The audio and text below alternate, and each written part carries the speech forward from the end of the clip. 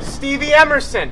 Hey, Matt Justin. Dude, how you been? I'm really, really happy lately. How's everything with you? Good. I, I got a freaking flat tire today, though. Yeah, those those suck. You know what really sucks? I have been freaking out lately, Stevie. I went to the ER actually, it was that bad. I fainted. I was diagnosed with a mild to severe anxiety disorder. I've been up for three days. I'm dying right now. It's crazy. I don't really want to hear about I, that. I feel like I'm constantly having an out of body experience. Okay. I, I'll walk down the street and I'll literally see myself, you know? well, hey, you know, you're a great guy. I'm sure you got plenty of friends and family to help you. Oh, no, yeah, well, I did have friends and family, but, you know, my girlfriend, Ashley, she sends me a Snapchat of her banging my best friend. I gotta go. My parents divorced. I'm sure you heard about it. All over social media, everyone likes to just up. say, let's tweet about Matt's parents' divorce. I That's barely know you anymore. This is not right? my problem. It's, it's fine, though. I'm Dude, fine. leave me alone.